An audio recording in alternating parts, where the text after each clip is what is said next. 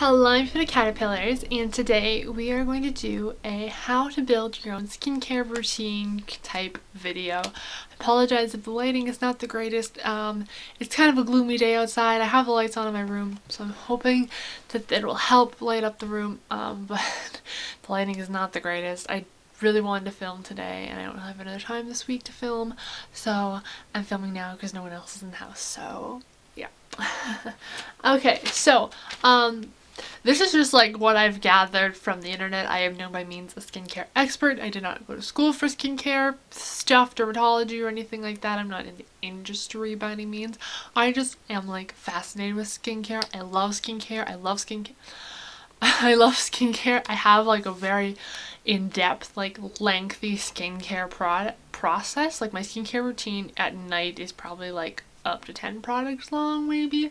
Like I use a lot but I really like it and I really enjoy skincare so I like doing stuff with my face like taking care of my skin and stuff. So this is kind of my interpretation. I know there's a lot out there um, on how to build your skincare routine kind of thing or you know because it's confusing when you first start. You're like what do I need? What do I want? What what I want to look for in a product? And there's like so many options out there and you're like do I want affordable do I want? Expensive like was there a budget friendly option out there kind of thing? So we're kind of gonna touch in a little bit on this. I'm not like a huge like I'm a skincare ad I wouldn't say junkie addict but I really like taking care of my skin and so my skin some days has like a skincare routine some days has like a 10 step product at night. Maybe not so much in the morning, but you know. Anywho, Step one in our skincare routine is figuring out what type of skin you have. Is it oily? Is it dry? Is it a combination of both? Is it normal? How do you know? kind of how you can tell is you could just like look at your skin um, maybe take the day and like don't wear anything and just you know do nothing to your skin and see do you notice by the end of the day are you really oily? Does your skin feel really tight? Does it feel really dry? Do you have patches where your like makeup rubs off a lot quicker than other times? Like you find you're more oily in your T-zone but like your cheeks are dry and your rest of your skin's dry and like because I have personally have combination skin.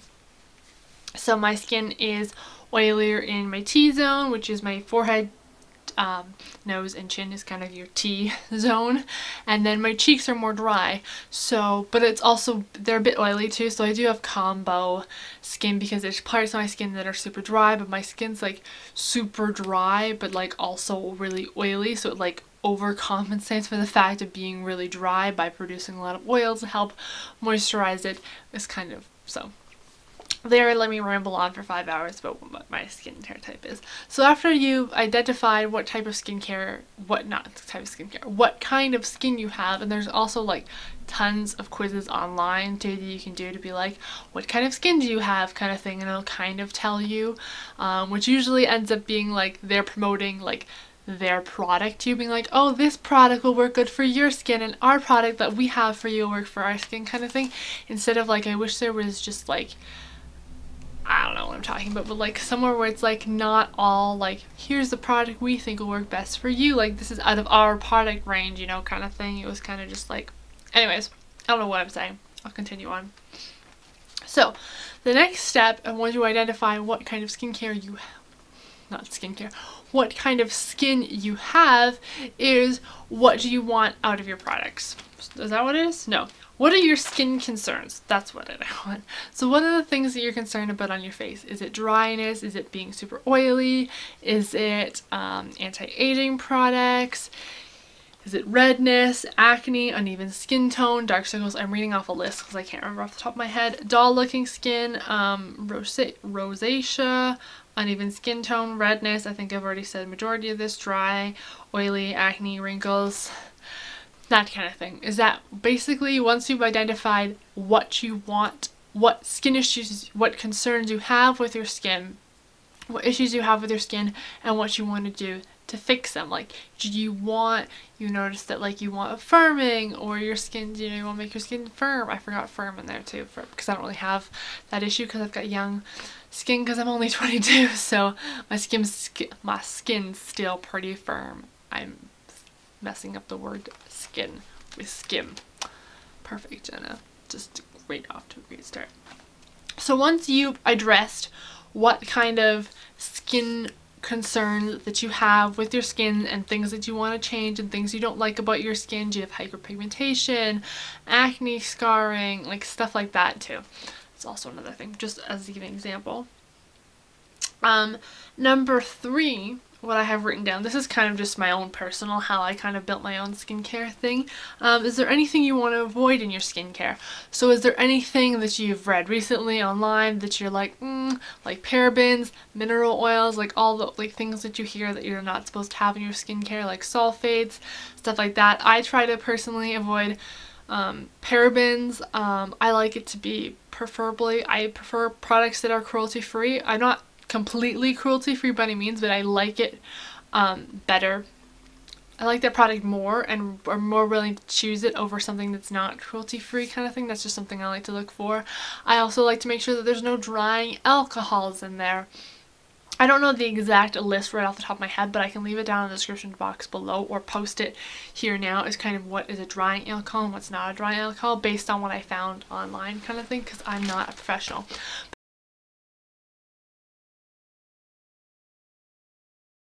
But those are just some of the things that I like to avoid. Or if you know there's certain items that irritate your skin as well try to avoid those as well. Parabens are supposed to be bad for us too. I think they cause cancer or something. I don't know. But that's something like if you're concerned about that stuff or you want to avoid those things that could be something to um, look for in your skincare as well when you're looking for certain things that um, you're trying to avoid. So number four I have written down for look look for products that do the stuff you want. And what I mean by that is look for products that claim to be anti-aging, um, that help with acne, that help with uneven skin tone, that if you have dry skin or oily skin or combination skin, look for products that kind of are geared towards that type of skin. Um, so if you have acne prone skin, look for products that are geared towards like acne prone skin so you know something that like doesn't clog your pores or something um, that doesn't like flare up or if you have a certain thing I don't know what I'm saying like you want something anti-aging so looking for something with like retinol in it. You can also do like research and stuff about things on your own as to what products you might want or like what ingredients you might want in your skincare for example, if you have acne prone skin, which a lot of people do, um, you want to look for something with like salicylic acid or benzoyl peroxide, which these products can like dry out your skin. And I think um, as well is supposed to be a good one for acne prone skin as well because that also helps something to do uneven skin tone. Same with vitamin C, it helps brighten your skin and helps with uneven skin tone as well. Like stuff like that, you can kind of um, Google your find your main skin concerns and then kind of Google what works with those like anti-aging would be retinol, um, acne prone skin would be acid, like salicylic acid, um, vitamin C, niacinamide, benzoyl peroxide, but those things can dry out your skin too, so you do want something that's going to be hydrating, like um, hyaluronic acid is supposed to be really good to hydrate the skin. Um, things like glycolic um, acids are supposed to be good to exfoliate the skin and help um, with cell turnover. That's also retinol as well. And like just help um, exfoliate and remove all the dead skin cells so your skin doesn't, your pores don't get clogged as well. And there's a whole controversy over chemical exfoliants versus physical exfoliants and how physical exfoliants are very harsh on your skin and you shouldn't be using those little microbeads because they can cause micro tearing, microscopic tearing on your skin and stuff. I don't know. That's just what I've read and heard from over the years, uh, not over the years, a couple years that I've been really into skincare and what I've read on people's blogs, blogs. Everyone seems to have a different opinion, so I guess kind of just do your research and form your own opinion. After you find that, so like looking for things that are actually like geared towards your skin. I can't give you like a list of every single thing, but that's like something you can like you can do you know, your own research and find products that you think that are going to work well for your skin. Like a, few of them I mentioned, those are the big ones that I use is because I have that kind of skin. I have um, combination oily to dry and um, acne prone skin is basically my huge skin concern and uneven skin tone, uneven skin because I have my hyperpigmentation. I'm pretty sure it's from my acne scarring as well and stuff like that. So those things I are kind of how I gear my skincare towards to be. Um, so I have number five is do research to find out products you think would work for your skin with your skin budget. I know that sounds like a lot of work to do some research and like looking into things that um, you know, just looking for products that you think might work well for your skin, um, you know, taking quizzes online to try to figure out, you know, where to start. Um, because it can be overwhelming going into the drugstore or even Sephora and not knowing what products you want, where to start. So, you know, that can be something you can read reviews online. I can leave down a really great blog um, who I think she is like the queen of skincare. Like she does a really good in-depth about um, like skincare routines and stuff. I just I love her. I love her. I think she's like the queen of skincare. Like she does amazing advice and stuff, and that's where I found out a lot of my information from too. So you want to like find like trusted sources as well, or just read reviews online and watch YouTube videos on reviews and things, and just figure out what people liked and didn't like and for what reasons and stuff, kind of thing. I don't know. I mean, everyone's skin is different, so what works for one person may not work for you, kind of thing. Like what works for me may not work for you as well. So just keep that in mind as well. But you know, what I mean by doing research is like looking up and figuring out and kind of having an idea maybe of what items you want in your skincare when you go and buy them. Like if you want a vitamin C cream, that makes it kind of easier to look and be like, okay, these are vitamin C or have vitamin C in them. That's what I want. So maybe I'll go look for more that area instead of being like, oh, I don't know, like this one says anti-aging. What's the difference between this anti-aging product and that anti-aging product? Kind of find like what anti-aging item you want and see for anti-aging I know it's a big one like you want maybe something with a retinol in it so look and see if it has a retinol something moisturizing, maybe try to see if it has hyaluronic acid in it. Um, gel like brightening your skin, look and see if it has a vitamin C in it, kind of something like that, or an acne product, see if it has salicylic acid in it. Um, within your budget as well, like make up a budget of, or you know, maybe you have a budget of like how much you're willing to spend on skincare, and so that may alter what kind of brand. You go for or like you don't have to keep picking like sticking with one specific brand.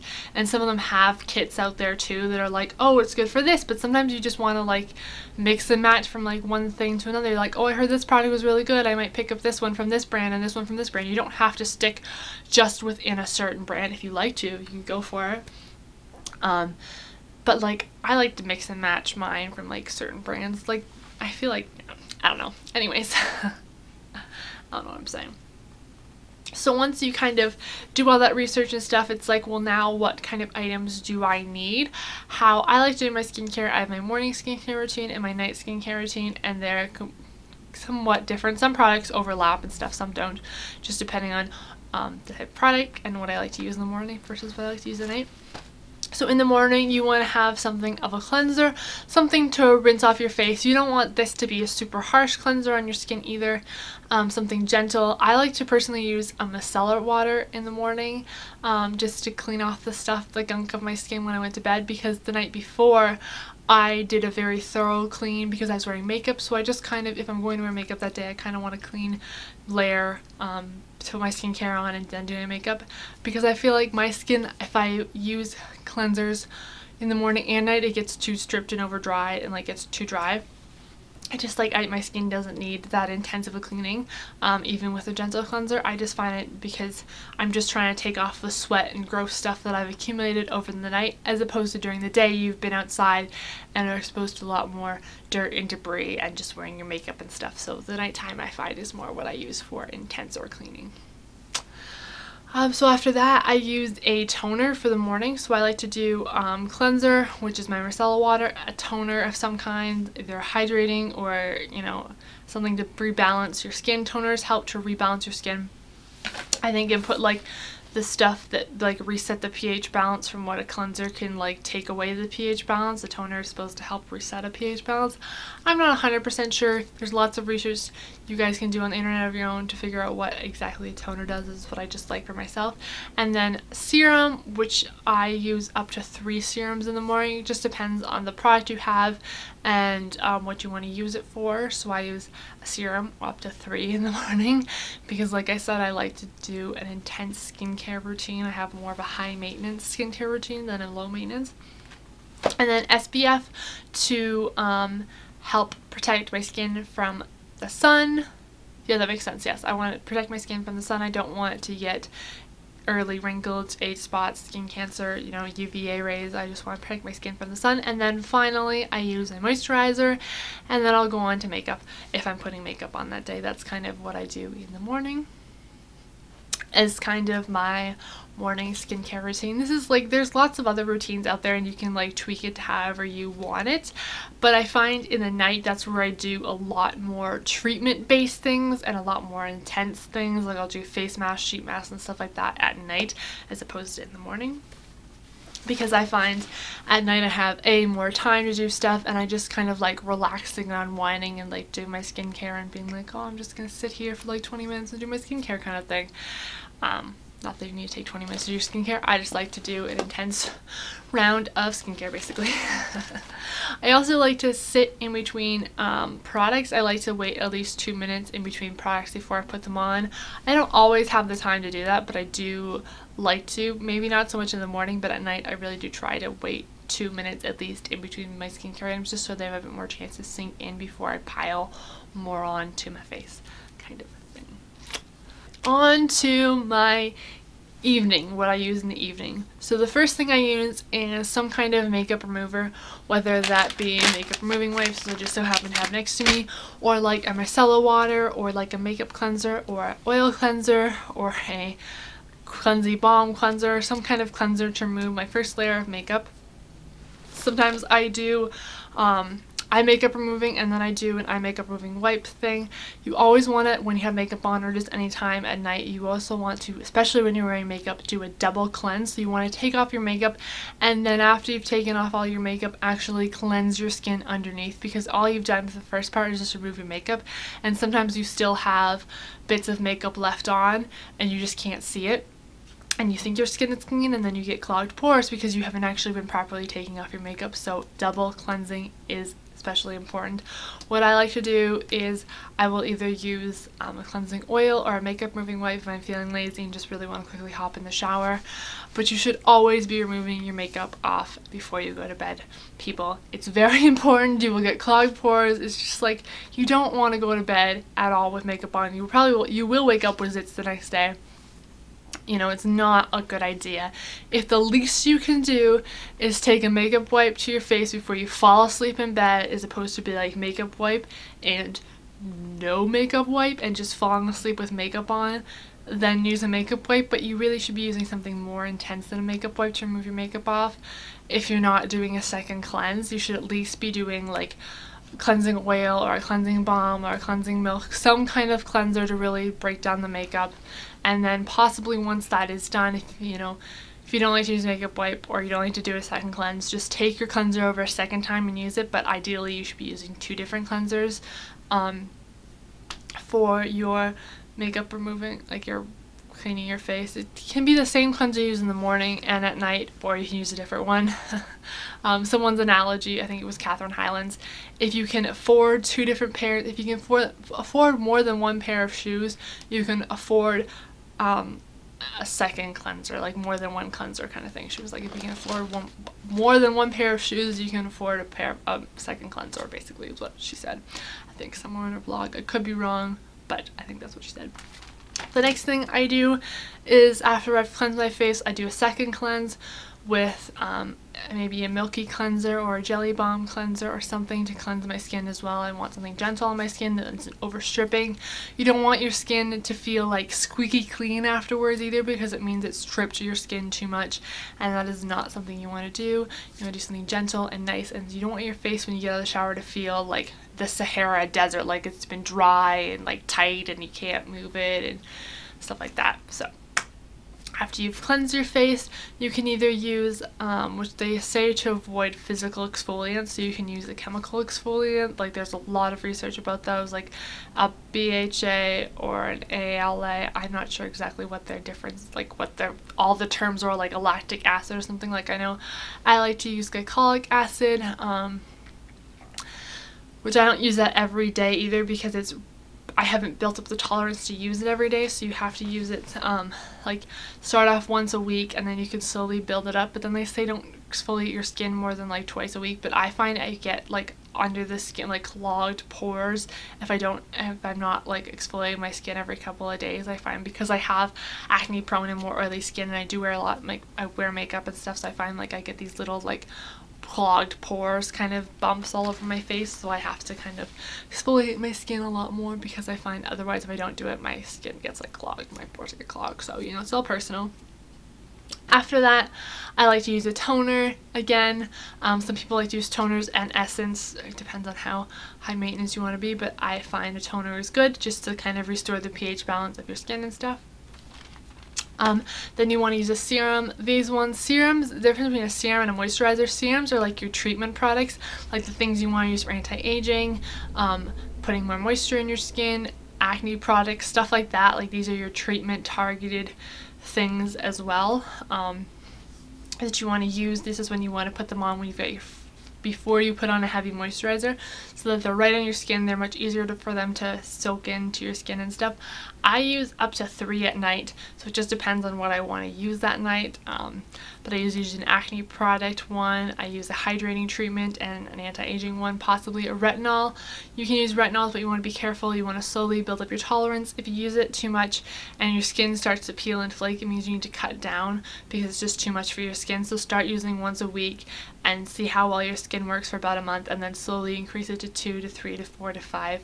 Um, or depending on if you use over-the-counter retinols too, then you just want to follow the directions in the box or whatever your doctor tells you because, you know, I'm not a doctor, so I clearly don't know, you know, whatever your doctor says, follow that. Um, but that's what I like to use. And then I like to use a moisturizer after that, something really hydrating. Um, that's going to really hydrate my skin and take a long time to sink in. I really like that. Um, and then I like to use a face oil, which a lot of people with oily skin don't like to use a face oil because they're like, oh, put oil on an oily face. But what you really want to do with the oil, it's supposed to help soothe your face and not have it be so oily to help kind of because your face is so dry that your body's producing more oil to compensate for the fact that your skin is really dry. And also apparently if you have really super oily skin, you're less likely to have like your wrinkles won't be like it'll take longer for your skin to get wrinkles because it's so hydrated that like um, you'll have less wrinkles or something or like the wrinkles won't set in as quickly as other people's. As someone who has dry skin their wrinkles are really more predominant and show up faster than someone with oily skin I guess. I think I'm, if I'm saying that right if it makes sense it makes sense to you guys I've been rambling on for a while. so um, you want to use some kind of face oil, something that's going to hydrate your skin. Um, I like to put that at the end right before I'm going to bed and then I like let it to sink into my skin when I'm while I'm sleeping and stuff. If you're worried about it getting on your pillow, don't put it right before you, like the second you're about to jump into bed. Wait maybe 5, 10, 15 minutes before you actually top into bed to let it kind of be absorbed into your skin because with the oil too, I think they were saying that it kind of helps drive the rest of the products deeper into your skin with putting an oil. It kind of seals everything up so you want to put your oil on last because it will block everything else. You don't want your expensive serums and things to be put on, you put your oil on and then not let them be able to be absorbed into your skin. So you want to put the more, if that makes sense. Because um, the oil kind of like blocks it and like sinks everything in and takes everything in as opposed to everything else will just kind of sit on your skin if you put the oil on first instead of everything else. So yeah. That is basically in a nutshell how to build your own um, skincare routine. I can leave the steps down below. Um, you can take this however you want to. I know there's a lot of videos on YouTube talking about skincare and a lot of vlogs talking about skincare. And there's a lot of controversy out there of what you should and shouldn't use. So basically do your own research figure out what you think will work best for your skin. And go from there. Um, if you have any questions, let me know. I'll try my best to answer them, but like I said, I'm not like a dermatologist. I don't work in the skincare industry. I'm just really like skincare and I've just recently started getting into it. So I'm not the best person of knowledge. I feel like the best option would be to go out and do your own research and things because there's a lot of controversy over things. So I guess kind of just pick your own opinion and form your own opinion and make kind of one of an educated guess and just you know do your research and figure out which is out there because there's a lot of stuff out there and also it doesn't mean high-end products are not necessarily going to have the best ingredients as well. If you're on a budget, I know a really great skincare company that I really like to use. It's called The Ordinary. I'll link them down below. Not sponsored, hence why I have not really talked about any certain product or cleanser. If you want me to go in more detail about any item, I can. Um, but I feel like again there's a lot more better knowledgeable people out there on YouTube making kind of these videos. I just kind of wanted to put out there because I'm like it's hard to figure out like what skincare routine kind of works for you. I know there's a lot of quizzes online but they always give you like just their brands kind of skincare stuff and I'm like well no I want to know what will like work best for my personal skin. Um, so yeah it's a lot of I feel like trial and error to find out the perfect um, combination that works well for your skin and stuff. So unfortunately that's just kind of the way it is. It's kind of like that with medicine too. It's kind of like, well, what works for one person doesn't always work for this person. So like this drug may work well for someone, but this drug may not work well for you. So you may have to like just figure out kind of, you know, for example, like antidepressants or something. One antidepressant might work well for someone, but it might not work with your chemistry, your brain chemistry and your stuff like that. So just kind of, it's like trial and error basically, you know getting samples is probably a good idea to go into Sephora and you know get a sample of the product and then you can take it home for a couple days and see how well it works and stuff and if it breaks you out don't buy the full size kind of thing like that. So they do say take um, introducing skincare slowly try don't just like bombard and like introduce a whole bunch all at once. You kind of want to do it slowly within seven days or something. Every seven days you can kind of introduce a new skincare item when you're first trying to build your skincare routine and stuff by no means do you have to have like a 10 step skincare routine but you know um, I just really like skincare so I have a lot of steps in my skincare routine but this is kind of like a basic um, skincare routine. So I hope you guys enjoyed this video. I hope you found it helpful. I'll see you guys later. Goodbye beautiful butterflies. Bye